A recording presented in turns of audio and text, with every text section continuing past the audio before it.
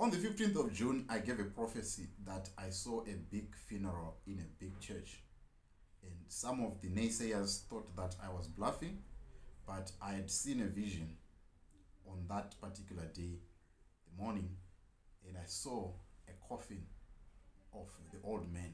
And I saw his wife crying, and I saw everyone crying. And it dawned on me that man was about to depart. There are other people who have given prophecies, like Passion Java has given the prophecy, uh, Melontic Orasi has given the prophecy. That one of Passion Java was more direct. Mine was not direct because I have some links and I've got some friends in the church of Forward in Faith. However, it is said that the man is gone.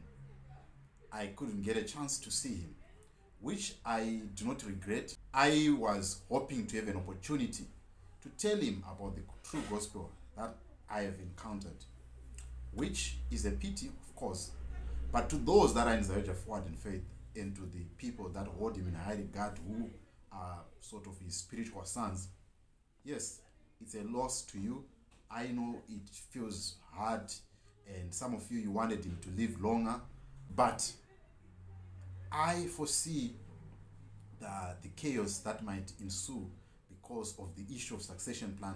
I made a video in 2019 talking about that, and I'm not trying to be a prophet of doom, but having known the structures and having known the fights and the talks that I have with people that are inside the church, for me or for them that are in there, they know that there could be a recipe for disaster.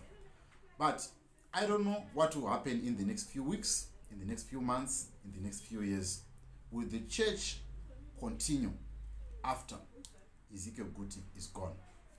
Love to hear from you and your thoughts in the comment section.